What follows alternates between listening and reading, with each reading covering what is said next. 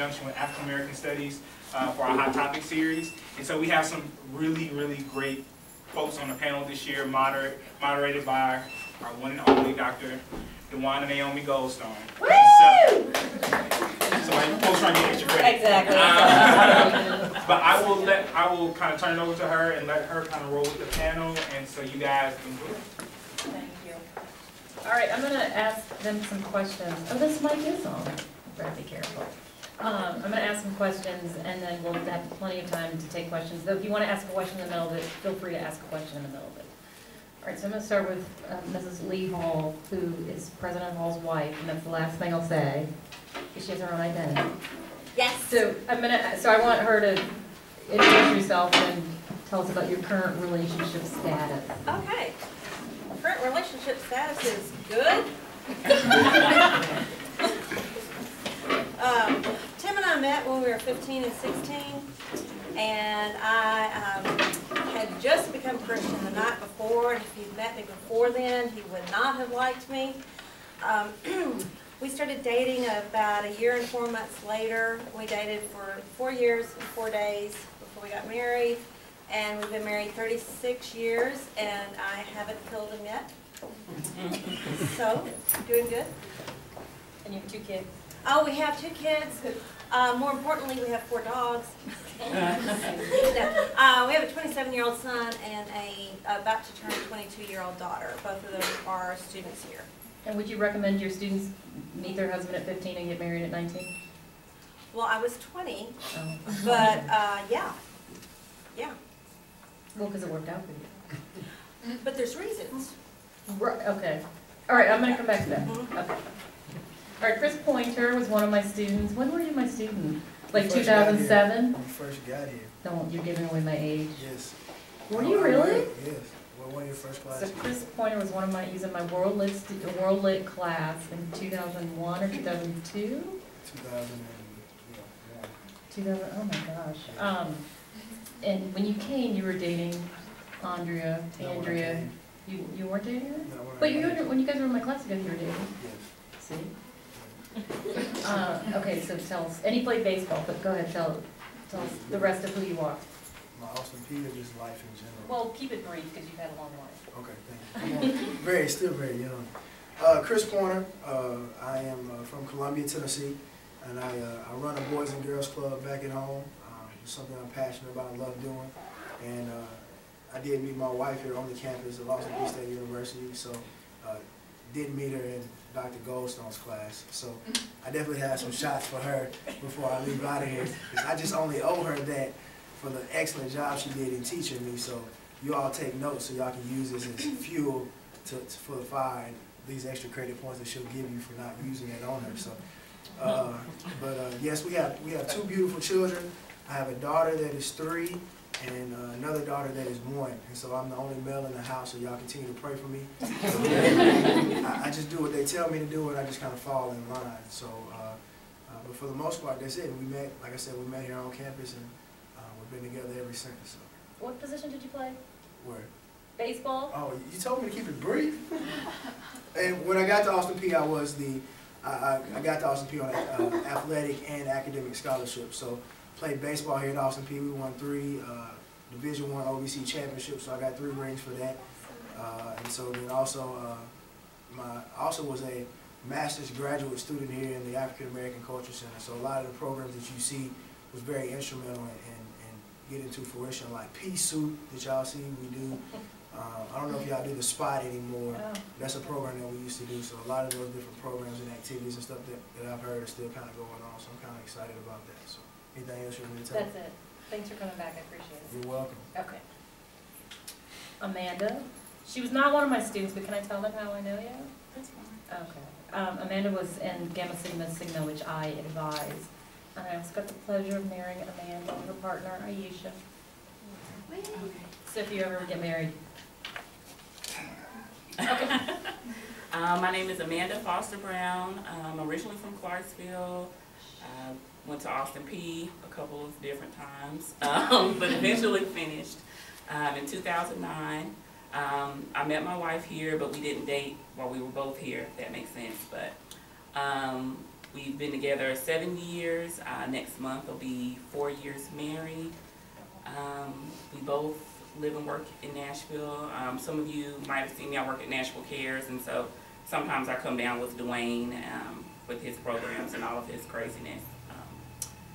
I don't have any kids yet, but I do have two really cute dogs, and that's about it. They're not as cute as ours. Hi, my name is Ernie Smith. I am from Memphis, Tennessee. I am a senior here. Uh, my major is education. And um, right now I'm in a relationship. We've been together for a year now. And that's pretty much it. I'm involved with the Mount Zion College Ministry on Austin Peay's campus. I'm Christian Wilson. I'm originally from Wyoming, and I'm a junior here, Austin Peay with a major in sociology.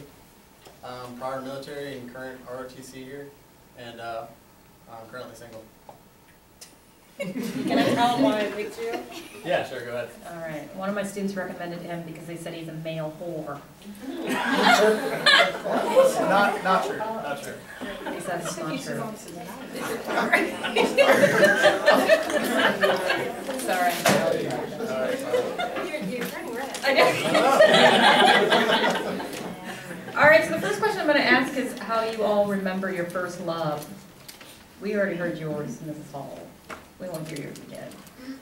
But I do wanna get back to that question, but Chris, your first love? My first love was Greg Ellis. Oh, excuse me. Ah. In first grade.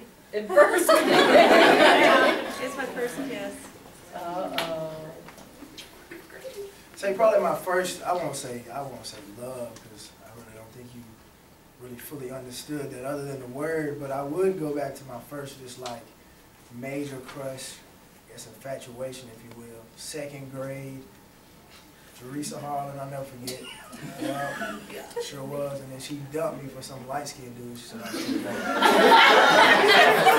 I remember that vividly. So, uh, yeah, second grade, I remember that like it was yesterday. Like it was yesterday. Walking the halls of MacDowell Elementary. Yeah. So I had to, I had to overcome that that, that dark skin complex out there. It's all good though. Great now. You're not bitter about it? No, not bitter. You know, I only I only stalked her in third grade. But I'm good now. I'm good. I moved on to bigger and better things in my life. So Thank you. you're, you're so welcome. You asked me to Oh, come on. gosh, panel. I, uh, I don't know whose word, you or Ernie. Yeah. You guys were here last year with Ernie. All right, Amanda. Um, I really, I wasn't doing all that in elementary school. I was like racing people and doing spelling bees. Um, but I guess my first, what I thought I was like, oh, I love, um, was probably like middle school. And I was like, oh, I'm so in love. And somebody told me I was cute. And I was like, oh, okay. Um, but it wasn't, you know, I mean, of course now I'm like, that was not love. But back then I thought I was, you know, hot stuff. Ernie. Um, my first love was in high school. I dated, his name was Michael Humphrey.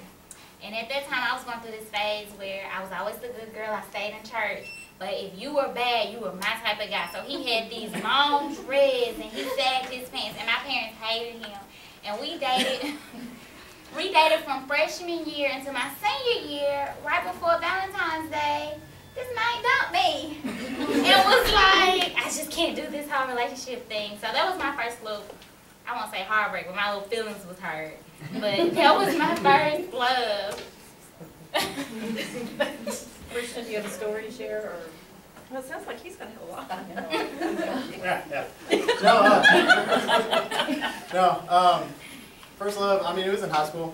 You know, it sounds cliche, but it was. Uh, it was freshman through junior year, and uh, it was. I was actually. I went to school at uh, back in Wyoming, and this was. You know, I was about to graduate. I was because I graduated early. I was about to graduate, and I was thinking to join the military, and that's actually why we broke up. Is she didn't want to date a military guy.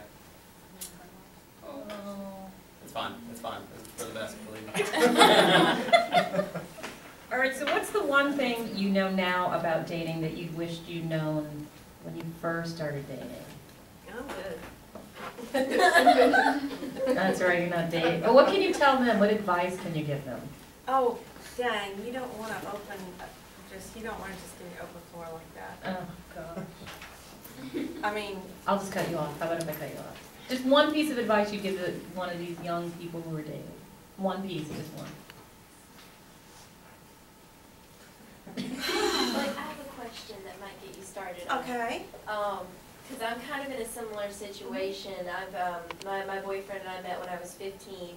We've been dating for, we've, two and a half years, almost three. Um, and we, he's actually coming to Austin Peay because I'm here and we hope to stay together and get married and et cetera down the road. I followed Tim. 24, 25. Um, I guess it's kind of a similar situation, so advice along those lines. Sounds good. Good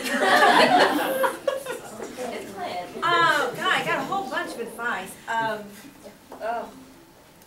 don't live together. How's that? Don't live together? Until you're married. Until you're married? She doesn't mean after you're married. Oh, no, what? Oh, No, uh, I guess, yeah, don't live together before you get married. It greatly increases your chance of divorce, it greatly lowers your, uh, satisfaction and happiness in Likelihood of marriage. getting married. Huh? Likelihood It of even getting married. getting married. Uh, yeah, and uh, what happens with a lot of people is they wind up, I mean, come on. You moving with somebody to save money? Doesn't that, I mean, th- that's just broken on the, on the surface of it. But so frequently, people will like move in together because, well, it makes sense, we can save money or whatever, or yeah, I like you, or my toothbrush is in your drawer anyway. And you, you move in with someone that you would not have considered marriage material. And then you just kind of fall into getting married to someone that, because there's no room in your life for a better person, a person that you would have wanted to marry. So too many people, I think this is part of why uh, the statistics should scare you off of it to begin with. Um, And just the rampant, I don't even know the word, I can't even think of a word, American gluttony, to say I'm gonna move in with you to save money. I mean, you're a check, a paycheck for me? You're gonna cut off part of my rent? I mean, that's just twisted. So, um, anyway, there we go. But what if they say they're moving in together because they want to see if they're marriage material? You will not find that out living, uh, living together. You will find that out by knowing each other for two years. You know that's a big deal for me. Minimum two years. Do not get married before you've known someone well for two years. And live in the same town, not this long distance nonsense. Unless you ride every day. We rode every day. Wait, We hold have on. boxes of People, letters. they didn't even So- have, they didn't have telephones when you were born. Well, She's right. She's right. We rode bikes everywhere. They rode horses. Uphill each direction. In the snow, In the both snow. ways. On the Gulf Coast of Texas, but yeah. Um, You know, you'll find out if someone's marriage material just by knowing them. Okay, so I'm gonna come long back to this idea of what is marriage material, but I'm gonna move Sure. on to Chris Pointer, who's married and I got lots more advice though. she does. Go ahead. So what, what question am I I don't really remember. The one you asked, the one she asked? Whatever one you wanna answer. I- It doesn't matter, you tell me. You would listen. you facilitate. What makes marriage material? What makes marriage material? How did you know Andrea, it's Andrea, isn't it? Sandra, either one of the two that you mentioned. What made you decide you wanted to marry her? What makes marriage material? I mean, really, I mean, it's really a, um, I think a personal, um, you want me to give the answer, I'm gonna give the answer. Personal, really, I think it's, it's, it's really a personal choice, because I think a lot of times what happens is we have these checklists. Men have checklists, women have checklists, you might as well just ball them up, shred them, throw them out the window. Because nobody's ever gonna meet every statistic or every characteristic on your checklist. And I think really it's about whether or not the two can actually grow together.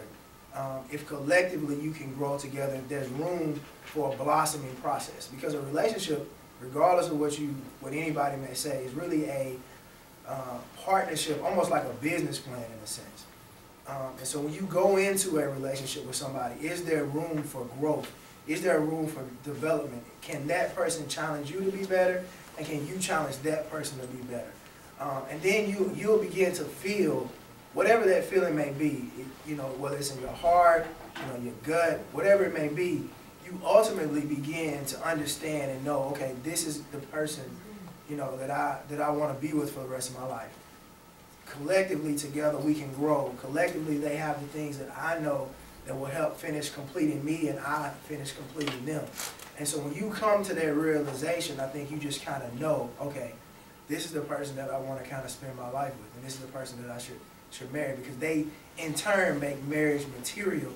And then from there, you continue to see how far it's able to stretch if what you're feeling is actually real. Because there are certain signs, there are things that you pick up on.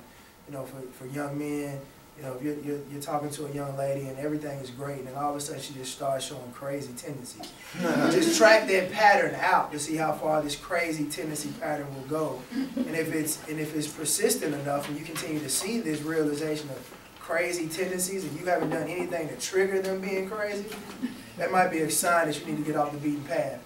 The same thing for women. You know, if these these young men are, are showing you tendencies that they're not going to pan out, you know, don't try to force a you know a round circle hole into a you know a square block. It's just not going to happen. I don't care how much you want to try to make it work, try to make it fit. It's just not going to happen. So I just I just say you know, you know, if that person you can grow with, you have room to grow with, and you can challenge one another to be better, and that there's truly love beyond the whole infatuation, the whole birds and the bees, the first date, going to Rafferty's to eat, whatever.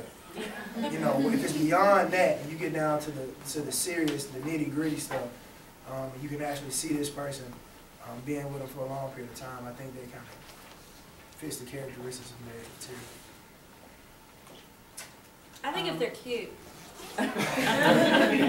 What does, what does Judge Judy say? Beauty fades, dumb is forever? Exactly. Um, I think the most important thing, if marriage is your goal, is make sure that you are married, uh, ready for marriage. Um, if you, if you have someone that's marriage material and you're not ready for marriage, then it's gonna fail. Um, it's just destined to. Um, secondly, I guess, you know, know, know the person that you're with, pay attention to not only the way that they treat you, but the way that they treat other people, the way that they treat family members, you know, parents and things like that. Pay attention to those things um, and really try to get to know the person that you're with outside of, um, like Chris was saying, that honeymoon stage. Because of course it's all fun and games when you're, you know, it's new and you're dating. But when it moves past that, you want to really pay attention to what's going on. Because all of that's not going to help you when you encounter, you know, difficulties and things like that. And that's a lot of times where people mess up is they're not prepared to encounter those difficult things that you go through together. Well, we were sitting over here saying that we don't have an answer for this question just because we're not at that point in our lives. So, okay, so the- that's good, because the question I want to ask is, how will you know that you're ready to get married then? Or when will you know? I, you know, you know. I guess when you feel it, um, prayer. I- right now, um, just being 21 and in school, although I am in a relationship, my primary goal is me. And um, I guess marriage hasn't been something that really been something that I thought of. I, I mean, all I remember is Henderson telling me is, "Don't no good man want a bitter woman with bad credit." So I'm just trying to work on my credit. and just living. Um, I've had, I listen to what a lot of married people say because that is my goal one day. And um, I think one one piece of advice that I got from a, a man was, a man is not who he needs to be until he's who he needs to be in God. So if I'm gonna be in a relationship, being a God-fearing woman and being into the church and being religious, and I need, I can't be with someone who's gonna, who I'm considering gonna leave my family, leave my children, and he's all crazy every which way. So I watch those things. Keep working on that credit. I am. Yeah, your marriage should not be your mission field. Should not be your what? Your mission field. What does that mean? right. Um, missionaries Mm. Right. go send out, it, it- your marriage shouldn't be your mission field. Christian? Uh, before I answer, uh, just a little disclaimer. no, no, no, it's, it's good. You're gonna, like, I'm military, so you're gonna get a military standpoint. Uh, you know, being in, in the military, you see a lot of guys come back from Iraq and Afghanistan, and, you know, they're 18, 19, they've been away for a year, and then marry the first girl that they meet when they get back. I've seen families shattered because of this, and there's usually a kid involved. So I would say don't get married until you know, or until you're, you know, the fog is cleared, I guess, you know, if that makes sense. Uh, because yeah, you're not thinking straight. When you, when you, uh, are young and, you know, major life events are happening, you're not thinking straight. I know, I wasn't. So just, you know, just take a step back, you know, look at the situation, and if it still looks good after a year, year and a half, Two know, years, two years, two years, two years. um, then, you know, I'd say pray about it, and if you're religious, pray about it, and, uh, go from there. One, one thing I would add, especially, I mean, you all are still in college, and one thing I would say is that, you know, when you came out, when you came from high school, and you, you know, to me, high school is probably the greatest years of your life. You can't, unless you had something tragic happen in your life, high school is like the greatest year of your life. But college, to me, is the most important years of your life. They're great, but they are the most important because you're, you're trying to now establish yourself. You're now living for somebody else. When you was in high school, you was kind of living for yourself, no one else, unless you had something tragic happen with your family. But in college, you're now setting the, the foundation for everybody else behind you and then for whatever else you're establishing. So that's why college is so important. So in anything that you do, especially getting into a relationship, you know, take your time. See where it takes you.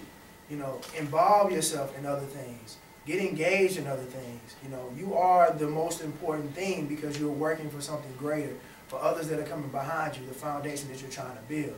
It's great to be lovey-dovey, see that person coming across the campus, see them in the UC, talk on the phone, text, see them at the club. You know, all of that stuff is great. But at the same time, understand that if you invest so much time and energy into somebody else's bubble, and that bubble doesn't work out, you no longer have a foundation for yourself. So make sure that you take your time through whatever the process is. You know, if you're committing yourself to one person, that's great, but still, at the same time, take your time. Don't rush.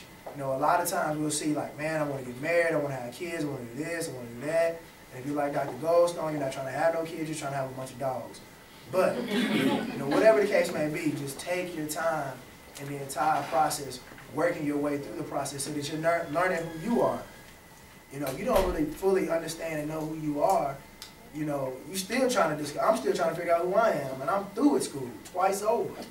So, I mean, so it's a process, it's a learning process, it takes time. So if I had to, if you remember anything that I say is just to make sure that in whatever it is that you're doing, you know, take your time, because that infatuation and love and that spark can force you to kind of rush things, because it does feel good, it does feel great, everybody's happy, it's sunny every day, there's not a cloud in the sky, it's not raining, nothing, you know, and then all of a sudden, you know, you're not prepared for, you know, devastation, you're not prepared for a shift or a change in the climate or the weather, um, which kind of throws you off because you've been rushing through the whole, the whole thing the whole time.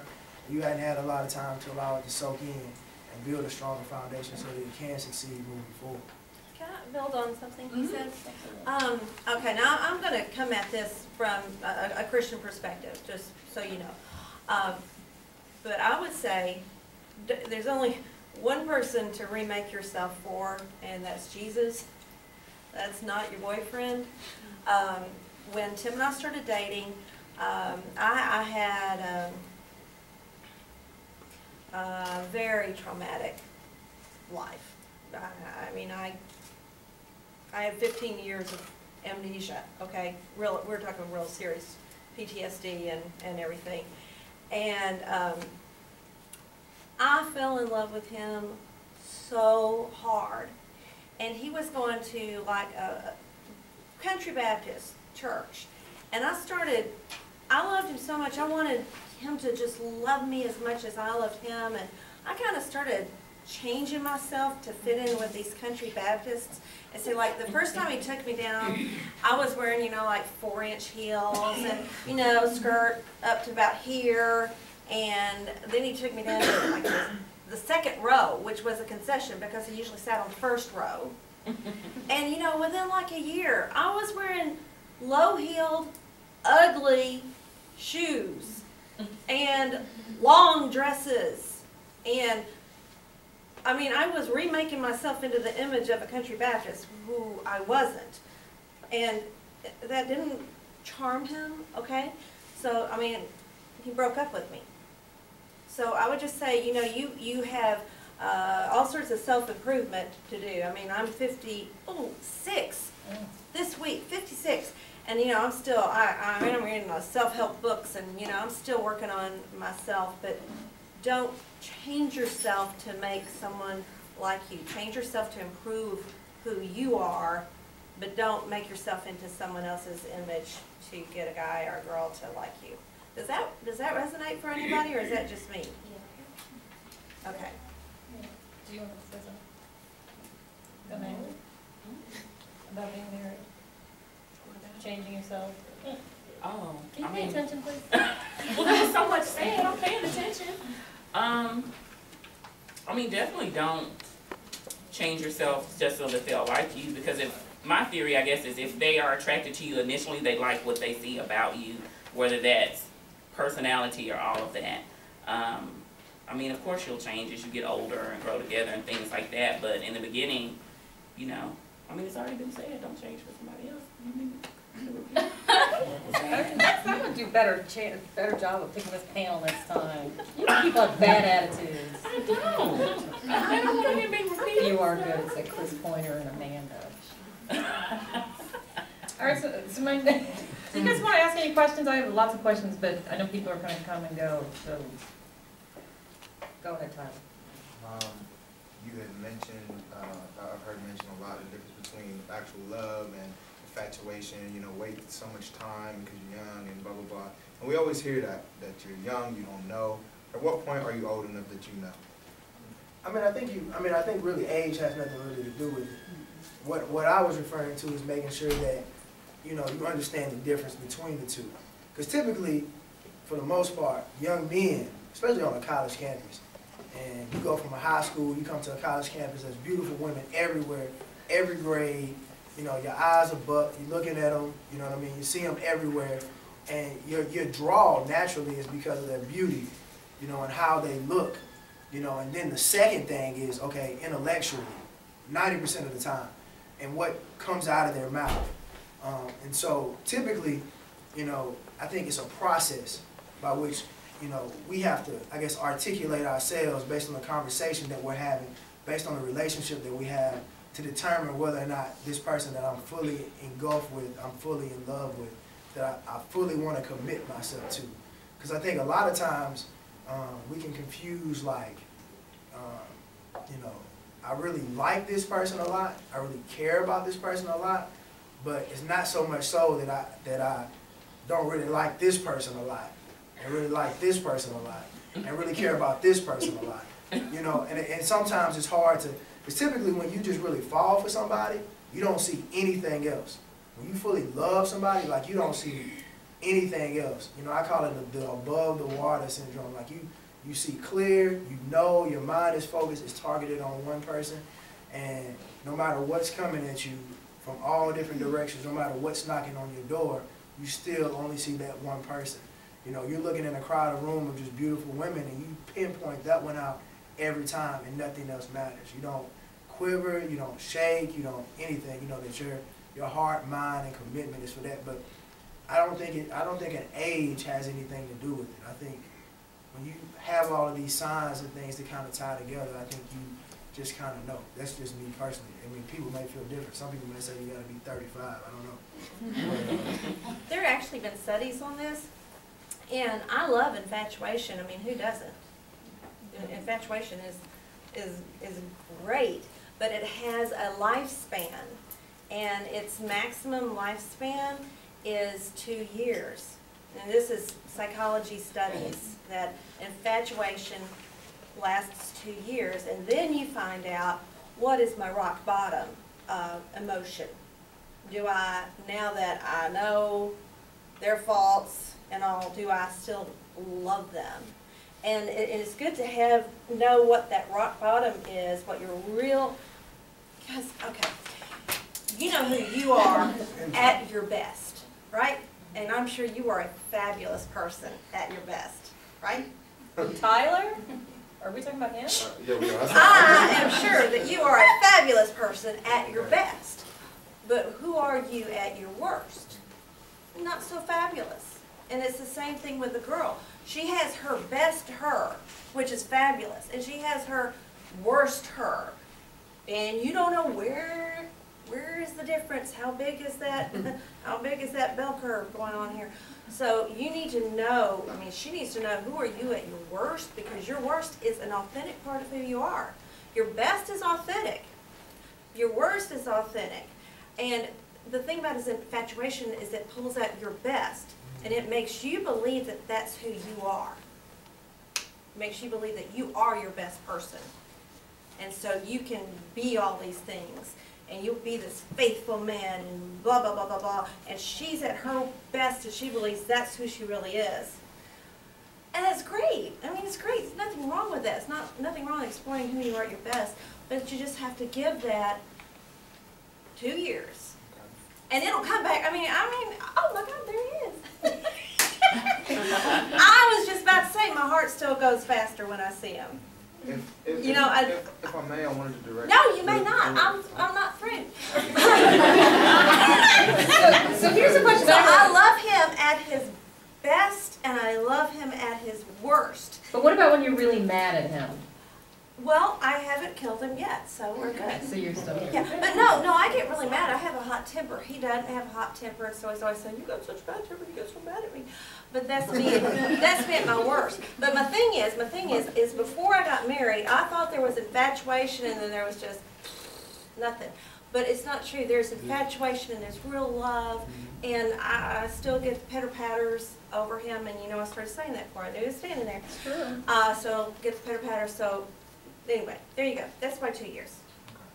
Two years. No. Yeah. Okay. Okay, just wanted to direct a sim- a similar question to, you know, our, our younger panelists.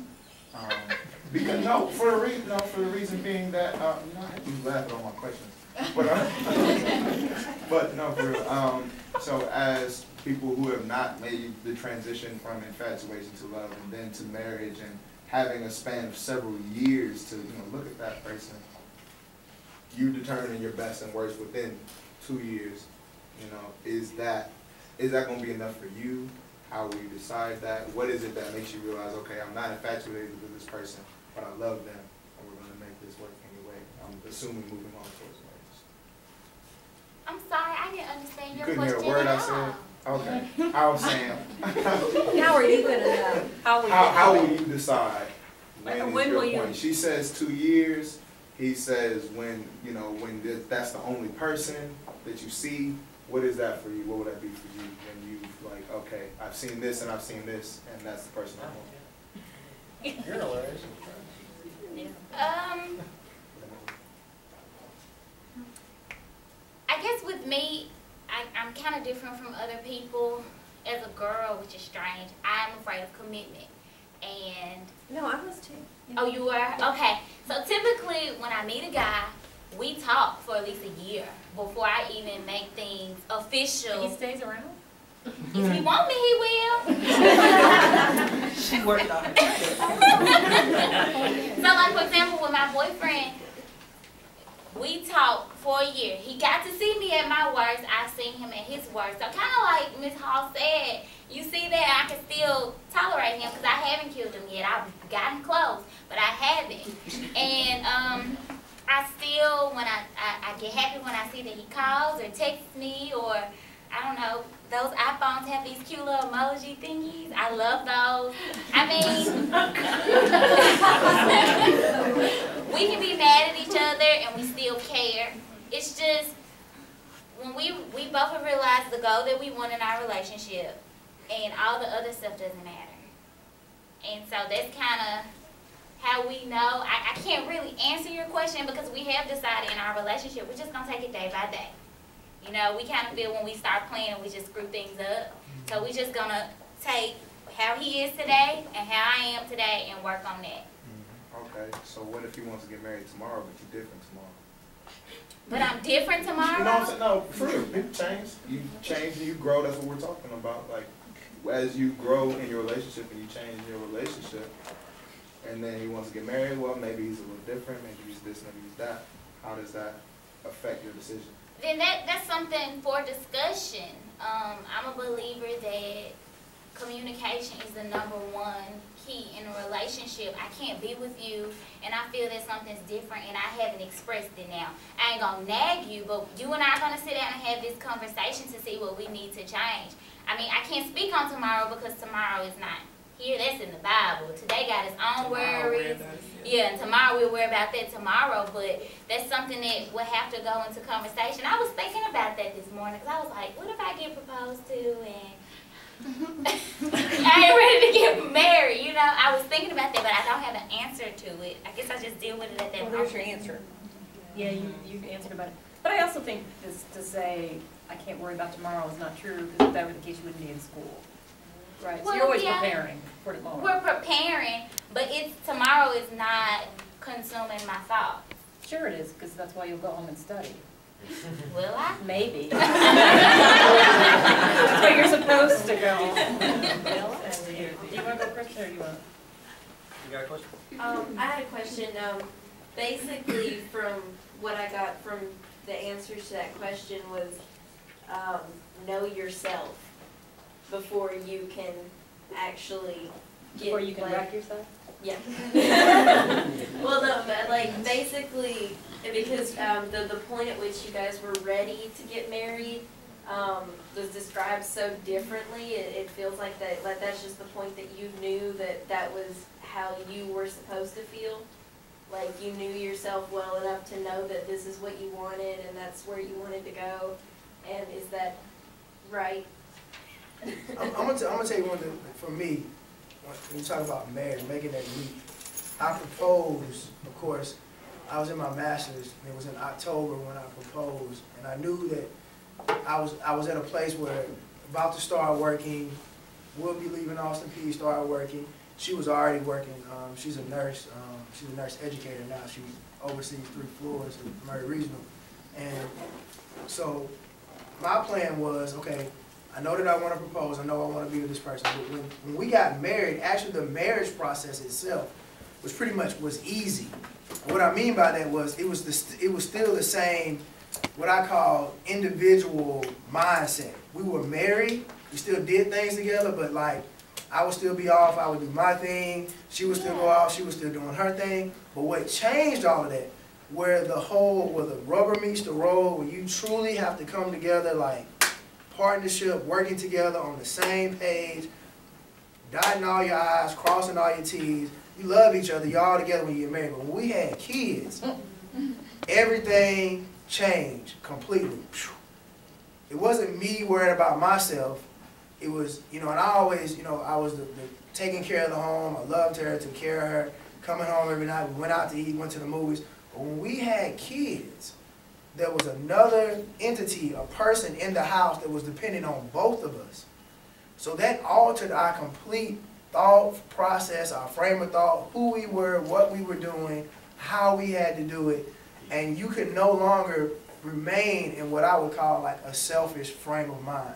And what I mean by that is, when I mean selfish frame of mind, meaning, all right, I gotta go to work, I can stay as late as I need to, I gotta finish all this paperwork, I'm coming home, she'll be there, she's watching TV, reading a book, she finished cooking, or she's doing stuff for work, everything's great, get up, kiss each other, see you after this afternoon, may do lunch, something like that, but when you got a child, all of that changes. Like you're now making an even greater sacrifice beyond self for the greater good of another. And that really challenged our marriage because we were having to both sacrifice because we were both still in tune to our careers, building who we were as individuals, people. But that kind of really shifted. And had we not had a strong enough foundation, when we did have kids, it would have been really rocky. It's still a transitioning phase. It was a transitioning phase trying to get here to Austin Peay because it was like, all right, I'm getting ready to go to Austin Peay, go back to our stomping grounds. Can you go? She's like, well, gotta make sure we got a babysitter. Gotta make sure we got somebody to watch the kids.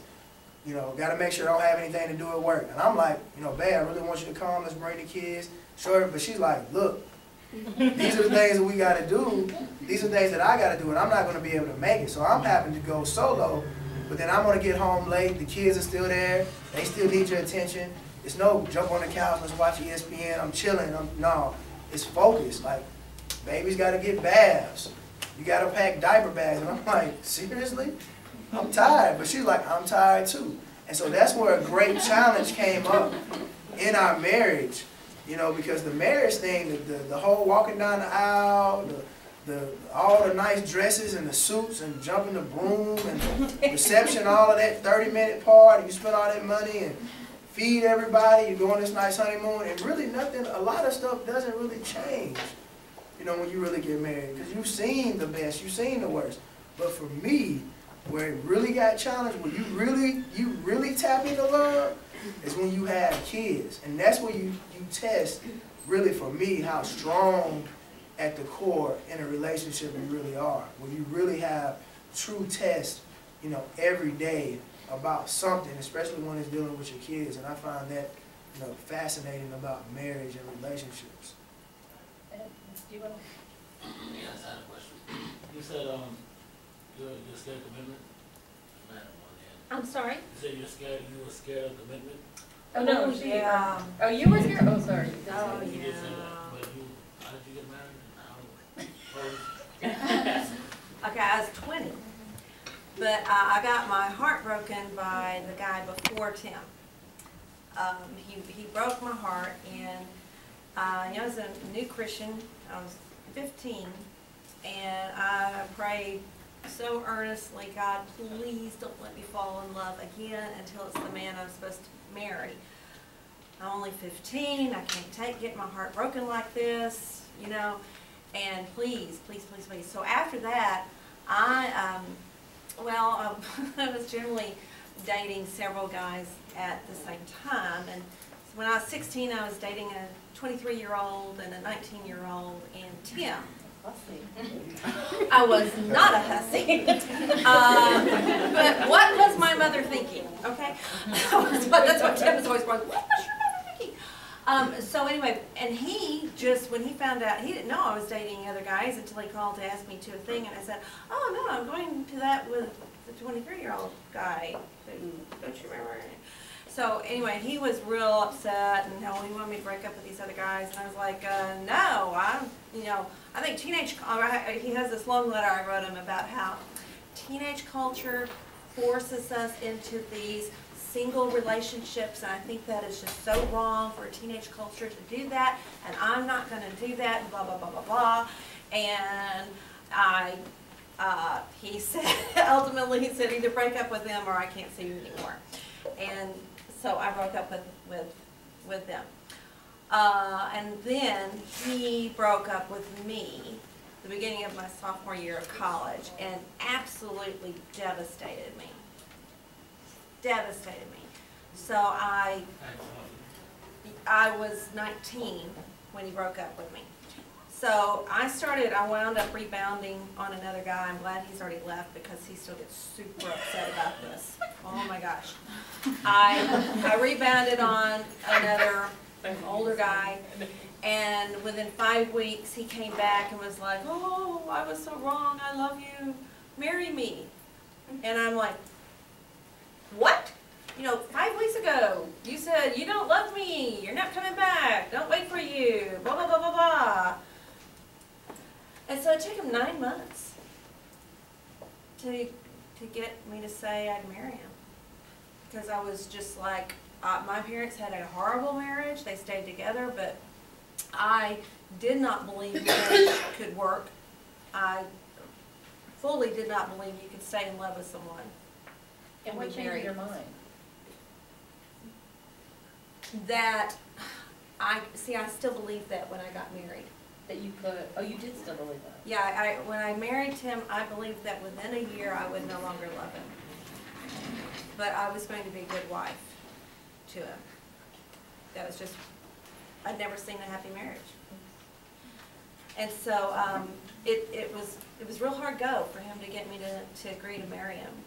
And it took a lot of work for him to get me to trust him again. And, um, it finally came down, it, it actually, it, it was a matter of a ton of prayer.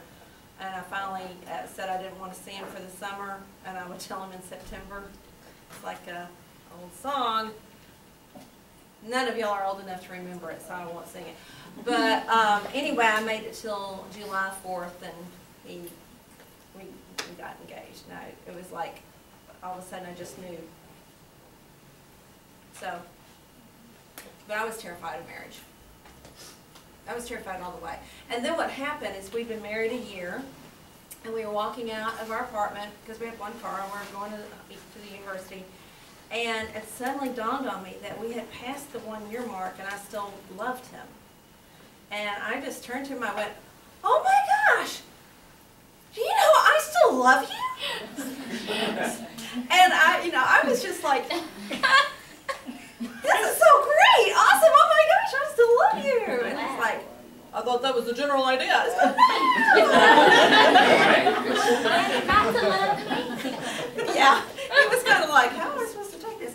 So, yeah, I don't know, but I had a real hard time. I didn't believe love could work last. I didn't believe, believe marriage could work. Um, and I was wrong. Thank goodness. So Christian, you didn't get to answer the question. Are you, are you terrified of, how will you know when you're ready to get married? Is that, was that your answer, question, Tyler? Sorry. Yeah, well, I'm not, I'm not terrified of that. Uh, I'm not, you know, I'm not scared of commitment either. It's just, I haven't found that person yet. Um, I'm not sure when I'll know. You know, my dad and my mom, when they met, they were nineteen and twenty. And, uh, my mom was a nurse, my dad was a paramedic, and my dad said the first time he saw my mom, he just knew that that was who he's gonna marry. Uh, and, you know, kids getting married at a young age, you know, that sometimes does work out too, because my grandparents were eighteen. They've been married. Yeah, but how many people do you know now? Exactly, it's at an anomaly, but it does happen. So, um, but yeah, I'm not sure when I'll know, and I'm not sure when I'll be ready either. You know, I'm not sure you can put a date on that. Um, because everybody's situation is different. You know, two people are the same, so I think it's just individual and, you know, hopefully we'll know when that happens. Anyone have questions? I have another question. Yeah. Do you guys, did you have another question? Okay. I want, I want to ask about red flags. Like, how do you know, when should you, how do you know it's a red flag for you? Because what some people might want to put up with. Um, well, I, I think faith discussions are important. Um, I think it's important to be of at least generally the same faith. I mean, if you're a devout uh, Buddhist, you probably don't want to be dating a devout Christian. If you're, you know, whatever, I mean, you should, I think faith similarities, if you're an atheist, then you probably want to go with someone who's at least an agnostic. Uh, uh, uh, But I- I'm glad you touched on that, because something that I don't think we talk enough about is mental illness. And that's another part of the two-year thing. Um, Because people can pretend that they're normal for a while, but not generally say for two years. And let's say, I- I mean, you've got narcissistic personality disorder, borderline personality disorder, histrionic personality disorder. And not to say that any of those makes a person ineligible for marriage, but don't you think it's better to know that before you get married than to figure it out after you're married? And know if you're willing to accept that. And know if you can, if if you're not, can, you know. if you can handle it. Um, if you've got the, the, the inner strength to, uh, always be able to, to help someone, because, you know, there are, there, mental illness is on the rise, just because, uh, society is kind of falling apart around us, so, I mean, if you haven't decided on a major, I think you should go into psychiatry, because that's a growing business. Um, but I, I think that's a, not necessarily a red flag, but a flag to, to know about. Now, I had a massive uh, breakdown when we've been, when I was thirty-seven, because I had um, something real catastrophic happen real suddenly, and it broke open fifteen years of memories that I didn't even know I had suppressed. And they were just all uh, overwhelming when they all broke out at one time, and I went into a six-year-long depression. Yeah. And the first three years were marked with terror, and the second three years were marked with rage. And probably the three years of rage were worse on Tim. They were easier on me because it's easier to be enraged than it is to be absolutely phobically afraid. But, I mean, who knew? I mean, so even if you, if, if this is something you're thinking about, I mean, I didn't know that was in my future. But Yeah, that's I knew I commitment. couldn't remember But things, but I didn't know. Right, so he, he wrote it out. He, I mean, he was great. He did the grocery shopping, he did the cooking, he did the laundry, because I had mass, I couldn't leave my bedroom for five weeks. Because if I started down the hall, I would have a massive panic attack. I couldn't leave the house for three years. At three years, I got out and I walked around our house twice, and I went back in, and that was a big deal that I was able to walk around the house. So, I mean, I went from being the perfect wife, because, you know, in my mind, it had turned into, if I'm perfect, I'll be safe. And so, man, I, you know, I was the perfect wife. And I went from there to, you know, being hospitalized for suicidal stuff and weighing 232 pounds. I went from like a size 6 to a size 22, I think. Mm-hmm. Yeah. And, uh, and when I came out of it, it was like moving from hell to heaven. It was just because I didn't even know I was going to come out of it.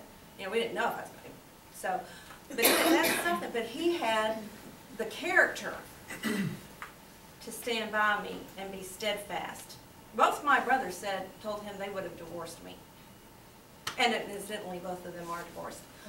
Uh, but Tim had the strength of character to stand by me during all that. So red flags. How do you know it's a red flag? Do you guys want to answer? Liza? I feel like you don't know a red flag until after the fact. Like, let's be real. The last guy I dated, after the fact, I'm thinking, yeah, you came up to me and told me all the girls you slept with, and I can count on them without my toes, my hands. I need your toes, your hands, your toes, your hands, and I still stay with you. It's like hard for you to say what's a red flag when somebody approach you because that's when the infatuation come by. Well, I'ma love you past all this pain. And and you know what? I'ma pray with you and we gonna make it through. And it works. It works in rare cases. But it don't work in all cases because let's be real, we in a college state and a lot of these guys just run a game in line. The only red flag you need to know is that your heart is important, your heart is sacred, and your heart needs to be valued. If it don't feel right, that's your red flag to get up and leave.